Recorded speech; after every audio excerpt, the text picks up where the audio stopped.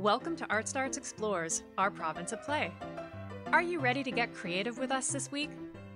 Let's review our three basic rules that guide us through our exploration and play. Rule 1 is respect.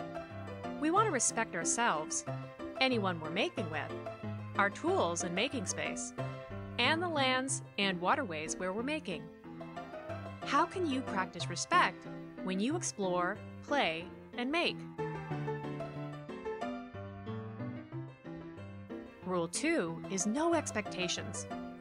If we're not expecting something to turn out good or bad, we're open to it going in a whole bunch of different ways. And that means that all respectful, creative explorations are great, regardless of what it ends up looking like. Try to do things you've never tried before and ask yourself, what will happen if I. Rule number three is nothing is for keeps. Everything we make together is a test, or a draft, or creative playtime. We're just trying things out. What can you make or try today and then take apart or recycle? What can we learn by making and not keeping?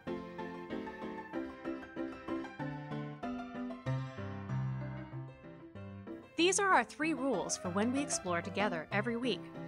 Okay, what will we explore together this week?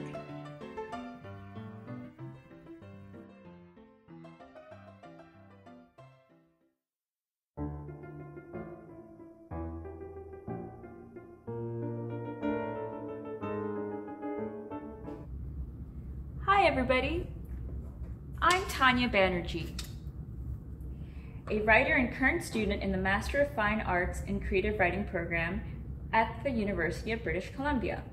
I'll be leading today's ArtStarts Explore episode.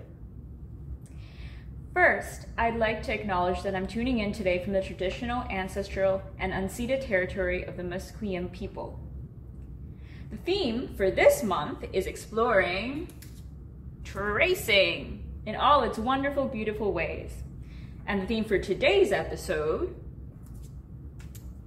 is tracing memories through daily objects. So we'll be using objects around us wherever we're creating from currently to experiment, play, and trace our memories.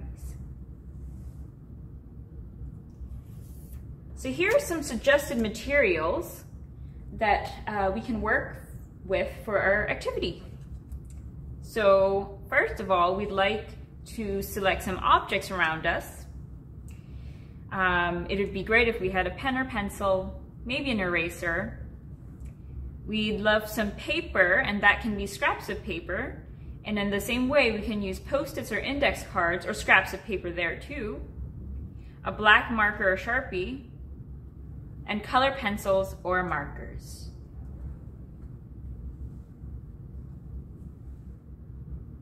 So before we get into our main activity for today, let's start with a warm-up. So let's start this warm-up activity by listing three memories we can think of right now. Memories can be of something that happened earlier today, yesterday, last week, or even last year. They can be of a person, an object, a smell, a sound, a feeling, a place, a combo of all of those, and even anything else. What do you remember at this moment?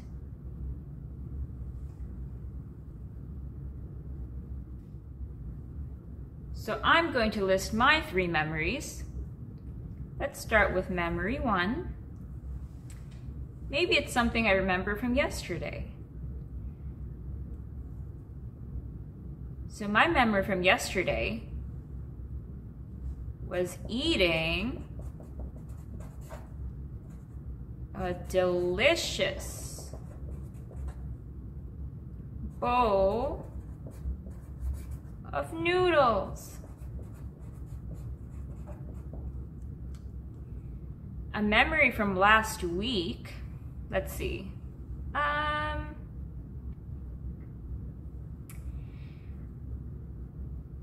I spent time with my awesome friend.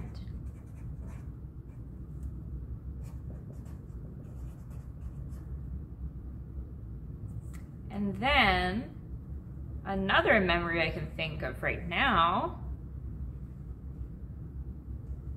is going to the beach last year. So those are my three memories for this warm-up activity. Now, what if we drew a little uh, image to go along with our memories that we've just listed? For example, for my first memory, I can draw my noodles. So here's my little bowl. And here's my noodles.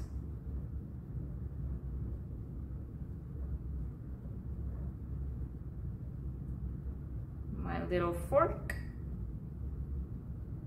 And it was nice and hot yesterday, these noodles, and super tasty.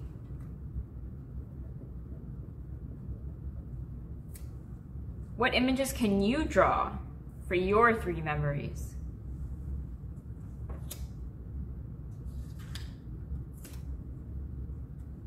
My next image is a little doodle of my friend Emma. So that's Emma.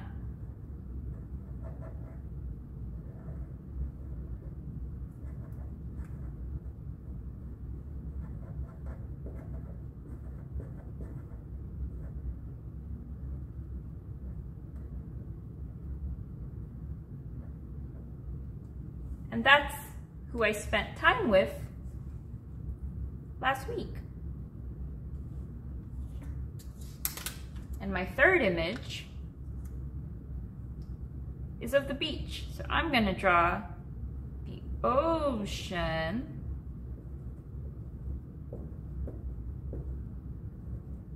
and a nice sunset.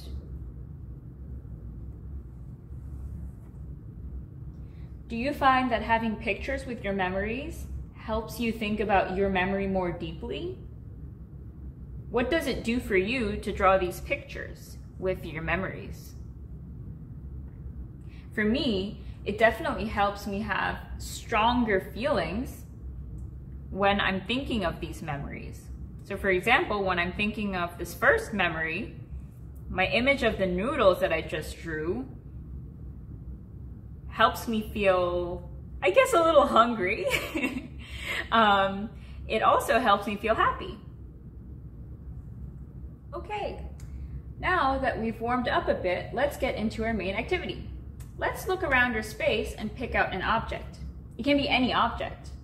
So I'm going to pick my headphones because they're nearby. It's something I use every day. So with our object that we just picked. Let's make a web of words, phrases, and images that the object reminds us of. We're gonna call these our associations, or what comes to mind when we engage with our object. We're going to do this on a piece of paper, or some post-its that you have around, with our pen or pencil. So I'm just gonna use my Sharpie here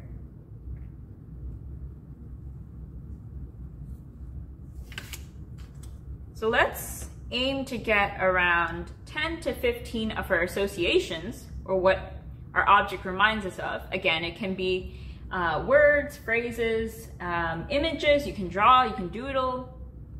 So I'm just gonna doodle and draw and write, write on these post-its. In the middle, I'm going to write headphones.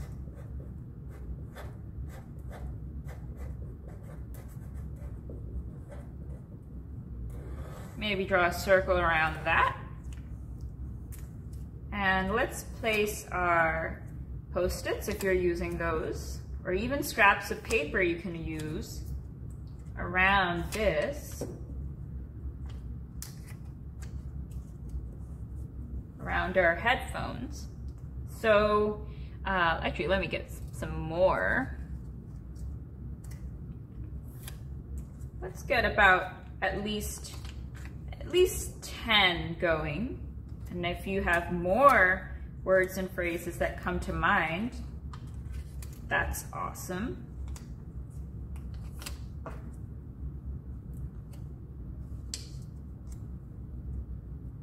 All right, so when I think of headphones and when I see my headphones, I think about what it looks like. When you're engaging with your object, how does your object feel? Does it have a smell? Does it make any sounds? What does your object make you feel? And of course, what memories come to mind when you engage with your object in all of those different uh, ways using your five senses sight, hearing, touch, feeling, um, and so on. So, for me, when I look at my headphones, I'm reminded of, of course, I'm reminded of music. My headphones make me feel really happy because I'm able to listen to music with my headphones anywhere I want. So I'm to draw a little smiley face there.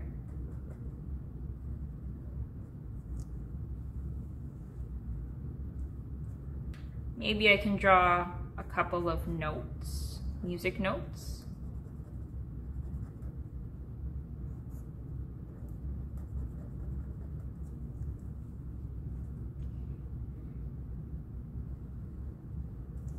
And when I feel this, when I feel my headphones, it feels smooth. It feels, smooth here as well. But over here, there are bumps and bumps over here as well. So I can write that down as well.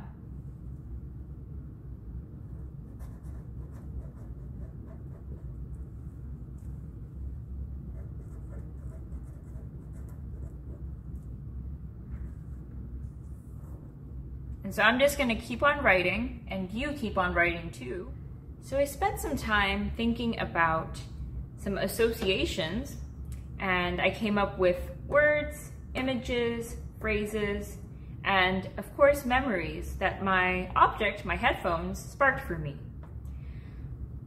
So I came up with 10 of them, and of course we've got music, because my headphones reminds me of when I listen to music, which makes me happy which also makes me feel at peace. And when I felt my headphones, parts of it were smooth and parts of it were bumpy. So smooth and bumpy. When I think about my headphones, I also think about and am reminded of dancing because I love to dance. And um, I'm reminded of my memory of singing at the talent show which was a great memory. I'm reminded of when I use my headphones, which is on the bus, or when I'm working on my laptop. And my headphones also reminds me of sharing ideas, such as when I'm sharing my favorite songs with my friends. So now, what we're gonna do is we're gonna take three to five of these associations that you came up with, so words, phrases, images, and we're just gonna put them aside for a second. So let me see, I will pick, I will pick the bus. Let's pick my memory of singing at the talent show. I'm also going to pick music. And let's also pick dancing. So I'm gonna stick with four of these. I'm gonna put this aside for now.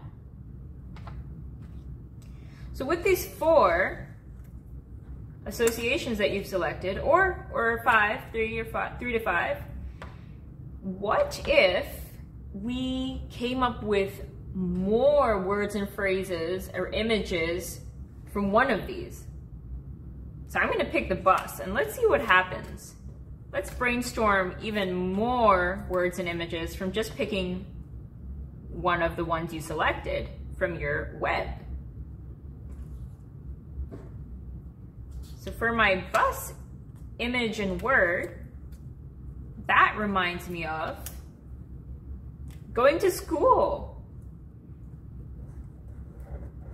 That's my little apple for school.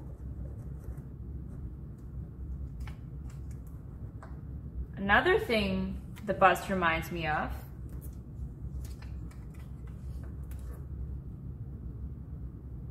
is actually, I'm gonna use my fun image from before the warm-up activity because I've taken the bus to go to the beach.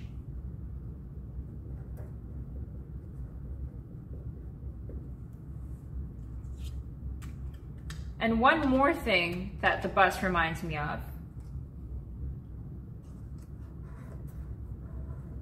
is the grocery store.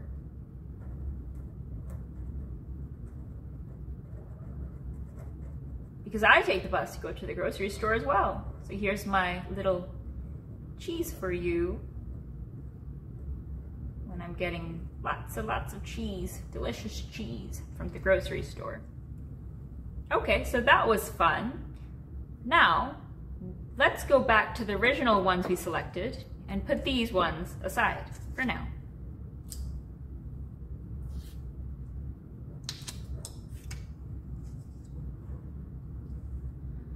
So what if we used our associ associations here together to create a new memory? By this, I mean, let's use our creative juices to write a little story. So, your story can be a few sentences or a short paragraph.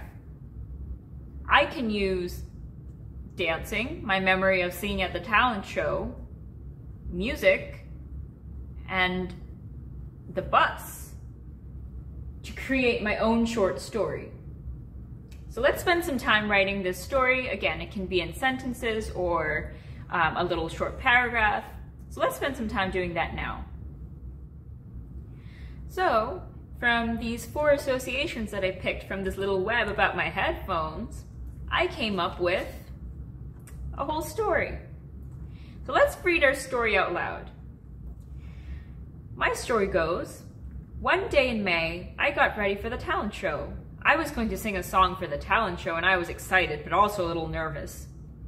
When I got on the school bus in the morning, I noticed everybody was giggling and then they shouted, Surprise! I sure was surprised. What's going on? I asked. You forgot today's your birthday. I gasped. Oh yeah, so we wanted to throw you a party on the school bus. Wow, I screamed. Thanks so much. All the way to school, we played fun music. Some of us danced in our seats. I was so, so happy. I was so happy that I was, wasn't even nervous anymore for my talent show later. What a fun morning. So that's my little story that I came up with in which I used my four associations. So we were on the bus, right, throughout the story. We're dancing on the bus to music, and all of this is leading up to the talent show. So now, what I want us to do is uh, to use our markers, so preferably a black marker or maybe a Sharpie, and let's think about what if we blacked out every fifth word of the story. So let's do that right now. So this is fifth word, the first fifth word, then we'll keep going. One, two, three, four, five. One, two, three, four, five. One, two, three, four, five. One, two, five. And let's keep on going.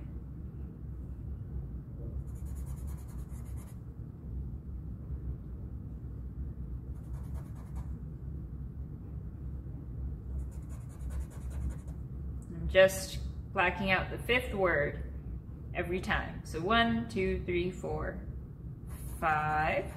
One, two, three, four, five. And now I'm on to my second index card. One, two, three, four, five. Five. One, two, three, four, five. One, two, three, four, five. One, two, three, four, five. One, two, three, four, five. One, two, three, four, five. One, two, three, four, five. One, two, three, four, five. One, two, three, four, five. One, two, three, four, five. One, two, three, four, five. One, two, three, four, five. And we're almost done.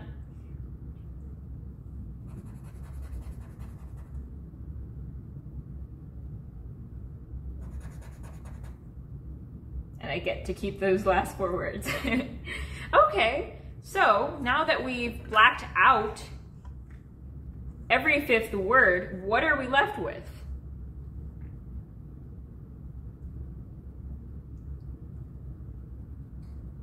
So if I read this again, we're left with one day in May, got ready for the show. I was going to sing a song for a talent show, and I, excited, but also a nervous. When I got the school bus in morning, I noticed everybody giggling, and then they, surprise!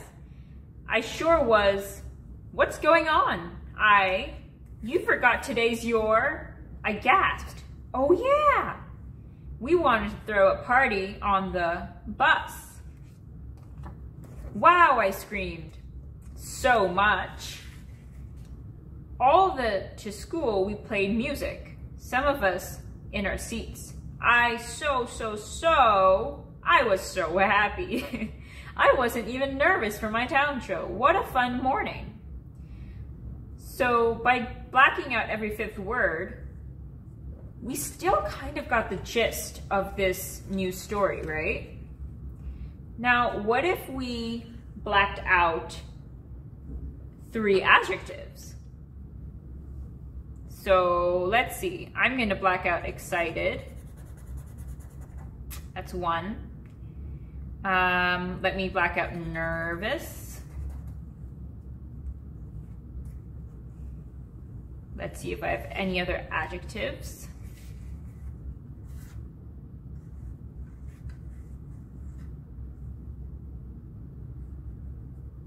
So I have nervous again, but let me black out morning.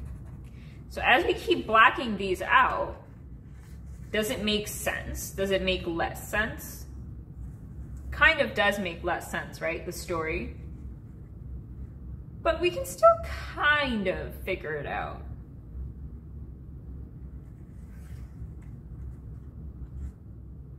Now, with the story that we have left, after blacking every uh, a lot of the words out. I want us to take a moment with this story to reflect on what this reminds us of. You can pick out some words that remind you of other words, images, phrases, again, associations. And let's see where that takes us. So I'm going to brainstorm three associations. So for me, I'm gonna pick surprise for a second. And that reminds me of gifts.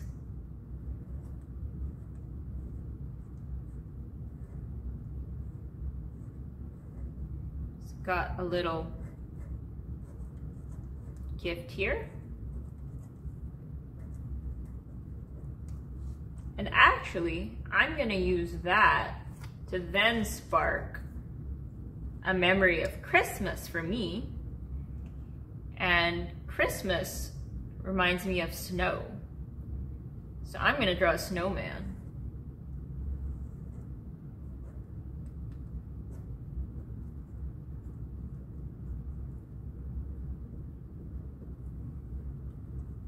And another thing that surprise reminds me of is, uh, I think my a birthday party that I recently went to. So I'm gonna draw a little birthday hat.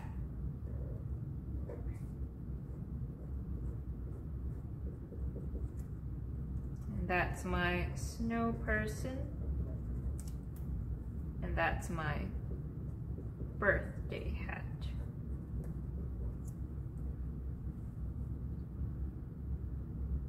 So let's take a moment to reflect on what we did today. Today, we traced memories through daily objects.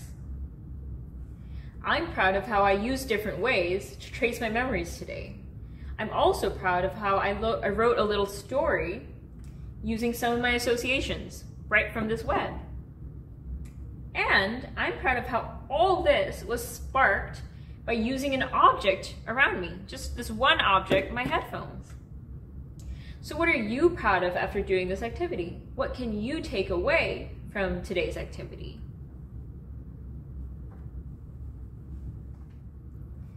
Let's clean up now. Let's take apart what we've created because nothing is for keeps.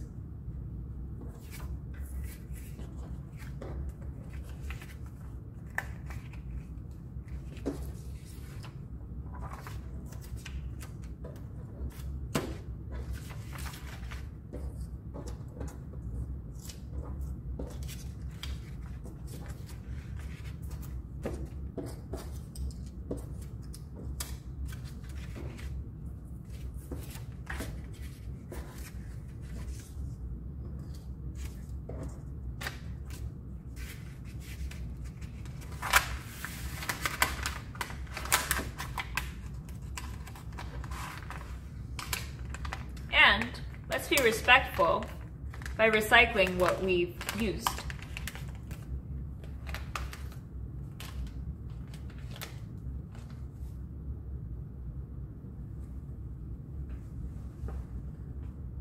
All right. Thanks so much for joining me for our ArtStarts Explores episode. I hope you had fun tracing your memories through the objects around you. Thanks.